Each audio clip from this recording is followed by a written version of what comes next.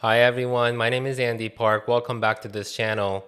Now, for those of you who have been following this channel, you know that I use OneNote to take notes at work and to organize my information. I'm a big fan of OneNote, but there is one feature that I'm not a big fan of, and that's the search feature. The search doesn't behave the way you'd expect from using other Office products, and I think it's somewhat confusing how the search results are presented. So in this video, I'll explain how to interpret the search results and share some of my tips for searching for notes. This is going to be an in-depth tutorial, so if you want to skip ahead, please use the timestamp in the description below.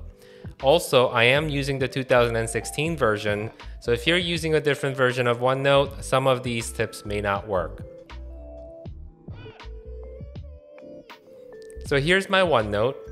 I have two notebooks which are organized into several sections, groups, and subsections. For those of you who are not familiar with the OneNote hierarchy, let me explain quickly. This is a notebook. We can have one or many.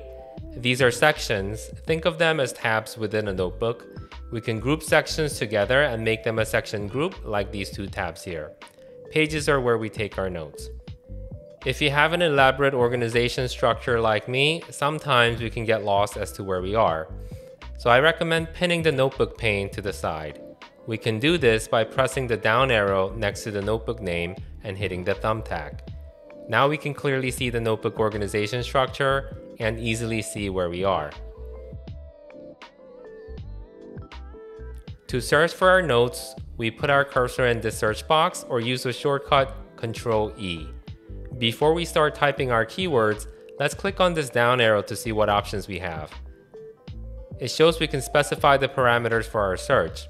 If we have multiple notebooks and we don't know where to search for the note, we can select all notebooks.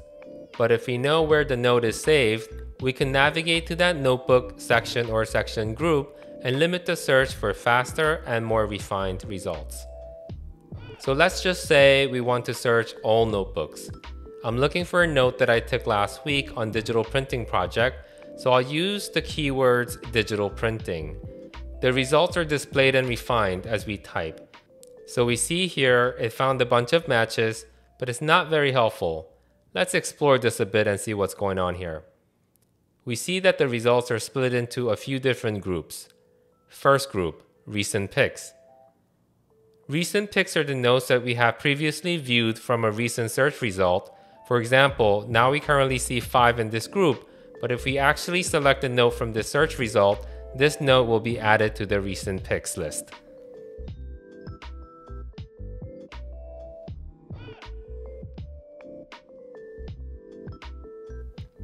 Second group, in title.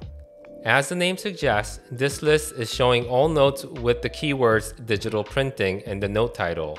The words may be matched anywhere in the title in any order. Third group, body contains phrase. Now this group shows all notes where the phrase digital printing is found in the body of the notes. There's an important distinction to highlight here. Since this section shows the match for the actual phrase, keywords must appear together exactly how we enter them, in the correct order. This section will only show results for digital printing, not printing digital, and not digital emboss printing. The fourth group. This group is a bit of a catch-all. This will find all notes where digital and printing appear on the page. Both words must appear, but they can be anywhere on the page, and they can be separate from each other. Another thing to note here is that this group will display matches for the different variation of the word. So if we search for the word promise, it'll show results for promised, promises, and promising. As you select the different notes shown on the result, the corresponding page will be displayed with the matching words highlighted. The notebook pane on the left will also highlight where the note page is. Sometimes when we have a large search result, it can be overwhelming. Pinning the search results provides additional options on how we can view the results. Here we have an option to filter the results by changing the search parameter. And by default, the matching notes are sorted by the last modified date. But we can also sort by the section or the title, both in ascending or descending order. OneNote searches through embedded images and handwritten notes. Let's grab a snapshot of this page in Wikipedia and insert it to our page. Once the image has been added, we can perform a search on any of the embedded text. Similarly, we can add a document as a file printout and search through its contents as well.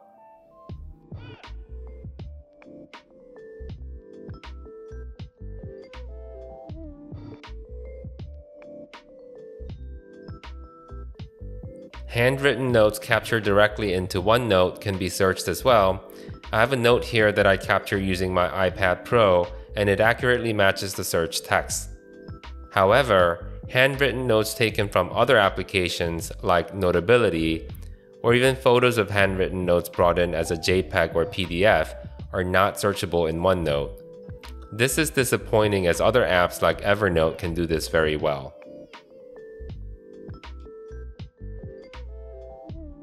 OneNote allows us to find notes with specific tags. Personally, I don't love this feature since we can't filter the notes by specific tags, at least not in this 2016 version of OneNote. Rather, it pulls all tags. And because of this, if we have a lot of notes, the search can take up to several minutes. And it pulls tags like in attendance, which I don't find very helpful at all. Since I tend to pull in meeting details from Outlook for notes that I take, almost every note page will have attendees info. This means every one of these notes will be tagged.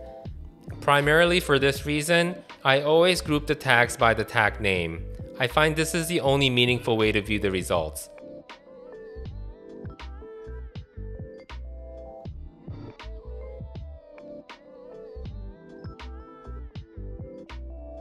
And if the result list is too long, we can always filter by these different criteria. We can also create a summary page in OneNote so that we can view the results more easily.